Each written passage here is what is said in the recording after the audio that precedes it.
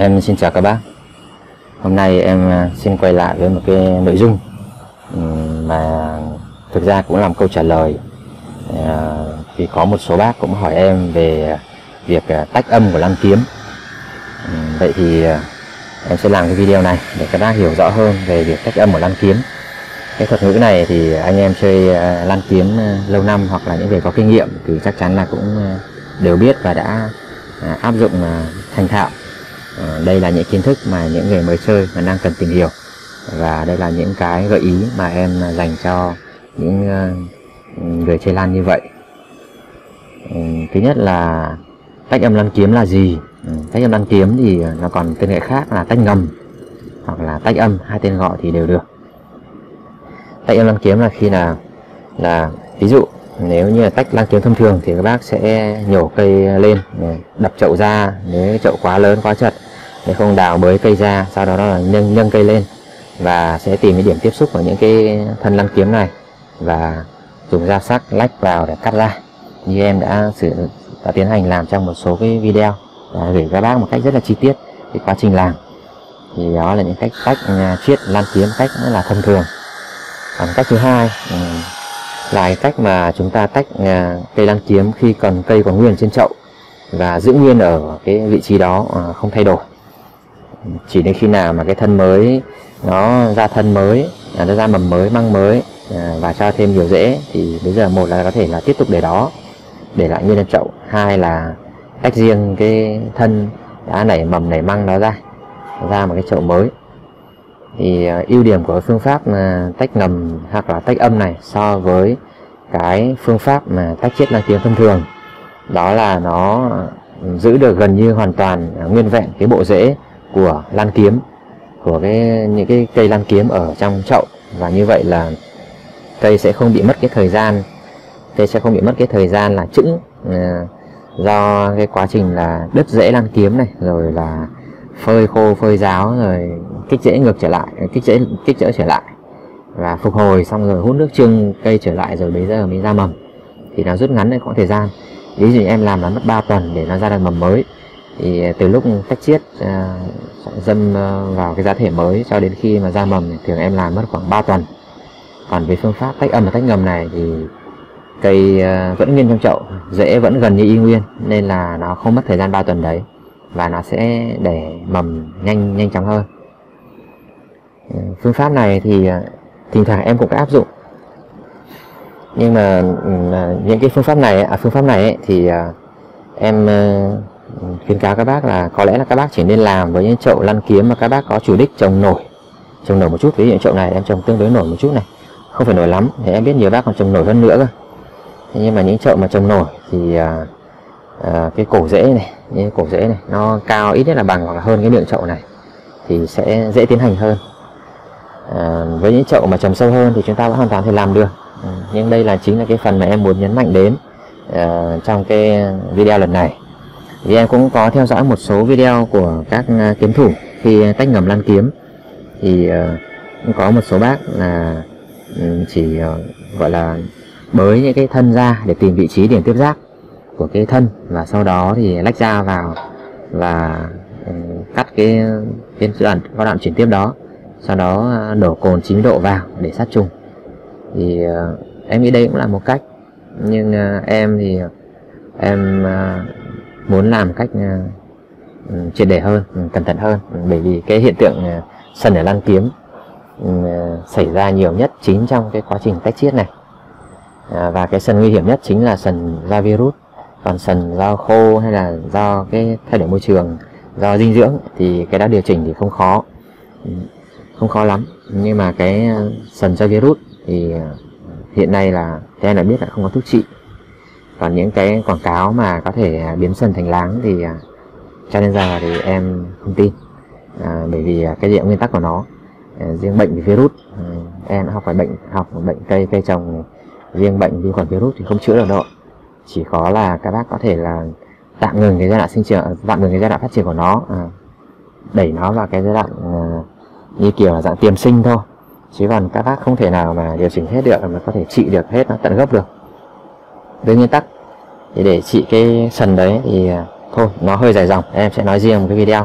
Vẫn như đã nói các bác em vẫn nợ vẫn nợ một cái video về cái hiện tượng sần lăn kiếm. À, vì cái đấy em cần tổng hợp tổng hợp rất là nhiều thông tin và những cái dữ liệu à, cụ thể ở vườn. Nên cho đến giờ vẫn chưa làm được.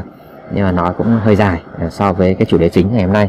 Đấy là cái cách chiết lăn kiếm và để tóm gọn lại, để tránh cái hiện tượng mà bị sần ăn kiếm, thì em à, sẽ à, nếu mà tách âm, tách ngầm, thì em cần phải làm triệt để hơn nữa, chứ không thể chỉ làm à, một cách tương đối là đơn giản như vậy. Với những cái chậu mà cần tách chiết ngầm ấy thì mình phải nhìn lực của cây đã. Ví dụ như cái chậu lan kiếm vị hoàng này chẳng hạn, thì nó có một thân chính, đây tạm gọi là thân bà đi. Nó đẻ ra được một cái thân thân con ở đây. Thân con bây giờ thì cũng đã đẻ ra một thân nữa thân cháu ừ. thân cháu này cũng lớn rồi đã, đã chuẩn bị ra mầm đây nữa rồi. Thì bản thân cái thân bà này nó cái củ bà này nó nó đang lì lại nó không đẻ nữa. Mặc dù là cái lực của nó thì nhìn các bác để thấy là củ thì so với cái cỡ này lá chỉ được khoảng 1.8 chưa nổi 2 cm thì so với cái uh, lực của nó cụ thể hiện tại thì nó hoàn toàn có thể đẻ được tiếp ít nhất là phải được hai ba mầm nữa là cách đơn quá đơn giản đúng không ạ? Nhưng nếu cứ để nguyên trong chậu này nguyên cùng à, kết khối này thì nó sẽ à, rất là lâu rất là lâu để đẻ mầm mới à, để phát triển thành mầm măng mới. Vì vậy nếu muốn tăng sinh cái số lượng thân mầm lên một cách nhanh chóng thì chúng ta nên tách tách ngầm tách âm nó ở tại cái điểm như thế này. Tại cái điểm như thế này. Và và trước khi làm ấy thì em sẽ để ráo cây ít nhất là một ngày không tưới. Ừ, không tưới. Sau đó thì uh, sẽ bới. Dạ, em nói nguyên tắc trước cái làm trước, sau đó sẽ thao tác sau sau đó thì mình sẽ bới những cái phần giá thể ra. Cụ thể đây là em trồng là vào lạc hun em sẽ bới hết ra, bới rộng ra càng thoáng thì càng tốt để lộ cái cái phần chuyển tiếp giữa cái thân bà với lại thân con này ra. Và sau đó thì em sẽ dùng cái dao sắc mà đã qua khử trùng rồi sau khi bới này ra rồi thì em sẽ dùng cái con dao. À, con dao mà chuyên dụng nữa thì em phải sát trùng kỹ đi. Có thể lau bằng cồn có thể đốt lên đèn cồn có thể phơi nắng à, to ít nhất là nửa tiếng. Đó có ba cách à, khử trùng dao như vậy. Hoặc là à, cách thứ tư là dùng một thuốc. À, ví dụ như là thuốc khử trùng như là thuốc phi san này hả?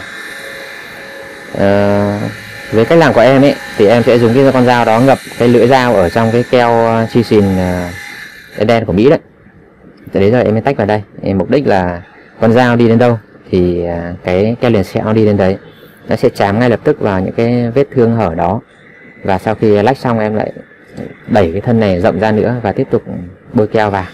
Cố gắng không động đến phần rễ không uh, dao không uh, sấn vào phần rễ mà nếu mà nó động chạm vào thì lại tiếp tục cho keo liền sẹo vào. Với em thì keo liền sẹo nó sẽ an toàn hơn là với cái cồn 90 độ. Cồn 90 độ thì nó bay hơi rất là nhanh. Nên là nếu mà đổ vào thì à, có chỗ trúng chỗ trượt. Nên cái khả năng mà những cái vết thương hở ấy nó vẫn còn là một cửa sổ mở à, để có thể là cái các loại vi khuẩn virus các loại sâu bệnh các loại nấm hại thậm chí kể là côn trùng nó thâm nhập tấn công và gây hại cho cây. Nên à, để tránh tối đa cái hiện tượng bị sần em thì em rất à, sợ cây bị sần. Và chính vì em làm cẩn thận ừ, với cái vườn lan kiếm của mình. Nên cho đến giờ vườn em thì không có một cây nào phát sinh sần trong quá trình uh, trồng.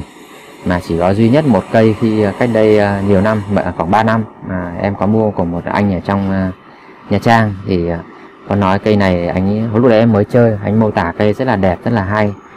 Thế và nó chỉ sần nhẹ thôi nuôi về chăm sóc tốt thì nó sẽ láng trở lại. Thì mình cũng chưa có nhiều kinh nghiệm nghe thế biết thế thì thích cái mặt hoa thì mua về nhưng sau từng đấy năm thì nó vẫn sần như cũ và bây giờ thì em biết chắc chắn nó là sần ra virus. Nên là cây để em phải để tách riêng, không để gần cái vườn kiếm của mình. Và cây cây lan kiếm đó, cây lan kiếm sần đó trở thành cái đối tượng nghiên cứu của em thôi. Còn lại trong quá trình nuôi trồng chăm sóc của em thì cũng khá là nhiều lan kiếm rồi, nhưng mà không có bất kỳ chậu lan kiếm nào mà để xảy ra hiện tượng là sần trong cái quá trình nuôi trồng. Và để đạt được kết quả đó thì ờ, chắc chắn là em phải có những thao tác kỹ thuật phải hết sức là cẩn thận để có thể ngăn ngừa và phòng tránh tối đa các hiện tượng này. Sau đây thì em sẽ tiến hành thao tác để các bác à, cùng xem. Này à, góc quay này hơi được sáng một chút, nhưng mà à, các bác thông cảm vì ban công em nó hơi chật trội. Đây là con dao em vẫn thường xuyên dùng để cách chiết còn đây là lọ keo liền da chia sẻ của Mỹ. Đây là những cái vật dụng mà không thể thiếu được của em trong quá trình cách chiết lăng kiếm thì như trao đổi lúc nãy thì cây này đã bới ra là một phần. Những rễ ờ, bay lên trời và nó không còn quan trọng nữa, nó khô rồi thì nó cắt đi thì nó gọn, nó thoáng. Để mình nhìn nó dễ thì à, em đã xác định rõ rất là dễ, cây này cũng dễ xác định. Vì trồng nổi nên mình sẽ xác định là cái thân thân bà này, cái củ bà này, nó nối điểm tiếp tiếp giáp ở ngay đây này. nên là mình sẽ lấy dao đúng ở cái điểm giữa này để ừ, tiến hành. Với con dao thì em đã phơi nắng ở đây là cái lọ keo. Bây giờ em sẽ tiến hành là nhúng keo luôn vào trong cái lưỡi dao vào trong cái lọ keo luôn.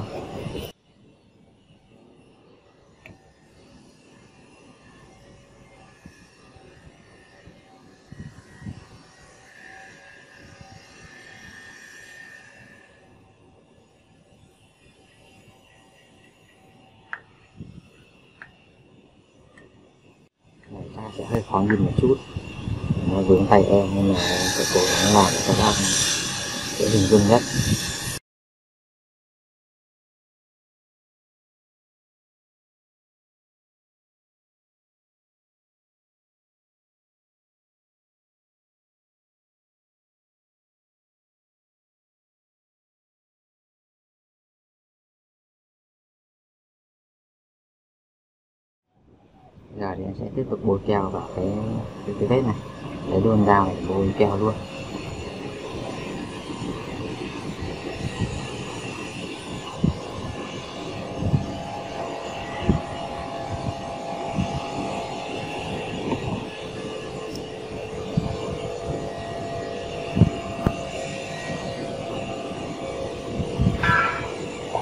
Đó vậy là xong. Cái này hơi bị cứng một chút lau đi.